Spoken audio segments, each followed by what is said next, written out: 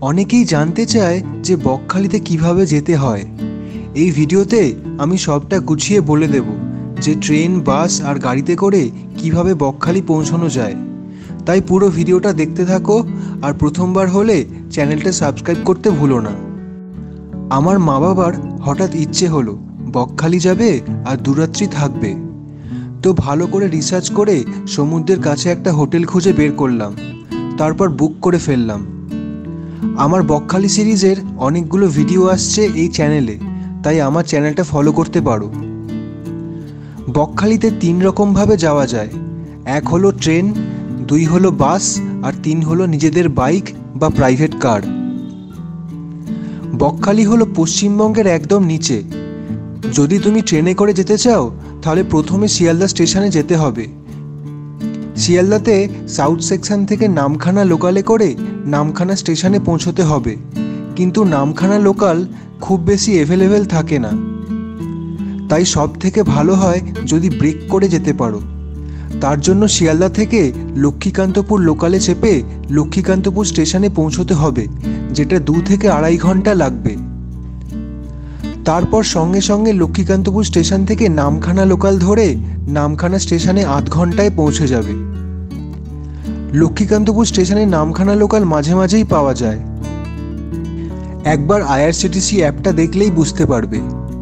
এবার নামখানা স্টেশন থেকে বেরিয়ে বাইরে টোটো বা ম্যাজিক কার ভাড়া করে ডিরেক্ট বকখালি পৌঁছে যাবে। এছাড়া নামখানা থেকে বাসও পাওয়া যায়, তার জন্য নামখানা বাস স্ট্যান্ডে পৌঁছতে হবে। এবার যদি কেউ ডিরেক্ট বাসে যেতে চাও, তাহলে কলকাতার এসপ্ল্যানেড বা ধর্মতলা থেকে ডিরেক্ট বকখালির বাস পাওয়া যায়। কেউ চাইলে অনলাইনে রেড বাস থেকে সিট বুকিং করতে পারো। গুগলে গিয়ে রেড বাস ডট ইন লিখে সার্চ করলেই দেখতে পাবে। বা রেড বাসের অ্যাপও আছে, মোবাইল প্লে স্টোর থেকে ডাউনলোড করে ইউজ করতে পারো। এছাড়া যাদের নিজেদের বাইক আছে বা প্রাইভেট কার আছে, তারা ম্যাপ দেখে ডিরেক্ট যেতেই পারো, যেমন আজকে আমরা যাচ্ছি। বেহালা হয়ে জোকা থেকে ডায়মন্ড হারবার রোডে পড়লাম। আমাদের সময় লেগেছিল প্রায় চার ঘণ্টার মতন। তিনবার হল দিয়েছিলাম। সিরাকোল বলে যে জায়গাটা আছে, সেখান থেকে দুটো রাস্তা ভাগ হয়ে যাচ্ছে। ডান দিকে যাচ্ছে সরিষা হয়ে ডায়মন্ড হারবার, আর সোজা যাচ্ছে উষ্টি হয়ে হাতিগঞ্জ। যেই রাস্তাটা ডায়মন্ড হারবারে যাচ্ছে, সেই রাস্তাটা আবার এসে মিশেছে হাতিগঞ্জে। তাই দুদিক দিয়েই যাওয়া যায়, কিন্তু ডায়মন্ড হারবার দিয়ে গেলে বেশি টাইম লাগবে। বাট কেউ যদি চায় ডায়মন্ড হারবারে একটু ঘুরে, চাটা খেয়ে তারপর আবার যাত্রা শুরু করবে, সেটাও করতে পারো। তারপর হাতিগঞ্জ থেকে সোজা কুলপি। কুলপি হয়ে প্রায় আধ ঘণ্টা পর আসবে কাকদ্বীপ। এই কাকদ্বীপ থেকেই গঙ্গাসাগর যাওয়া যায়, লঞ্চে করে। একবার আসব, প্ল্যান করে এই কাকদ্বীপ থেকে গঙ্গাসাগর যাব। তারপর কাকদ্বীপ পেরিয়ে নামখানা। আর নামখানায় পৌঁছে নামখানা ব্রিজে উঠে যদি সময় না কাটাতাম, তাহলে খুব বড় মিস করে যেতাম।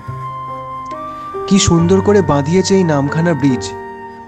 আমার মা বাবা যখন পঁচিশ বছর আগে এই বকখালিতে এসেছিল, তখন এই ব্রিজ ছিল না। ওরা ভেসেলে করে এপার থেকে ওপার হয়েছিল। কিন্তু দু হাজার উনিশ সালের সেভেন্থ মার্চ এই নামখানা ব্রিজ উদ্বোধন হয়।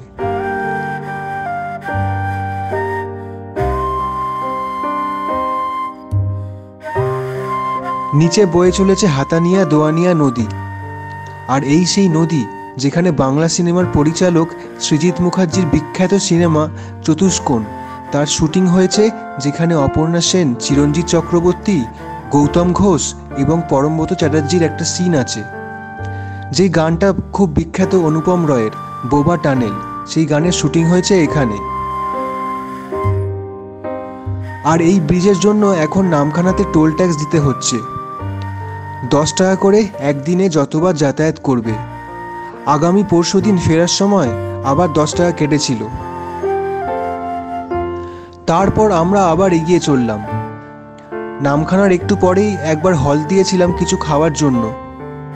ফ্রেজারগঞ্জ পেরিয়ে ডিরেক্ট বকখালি।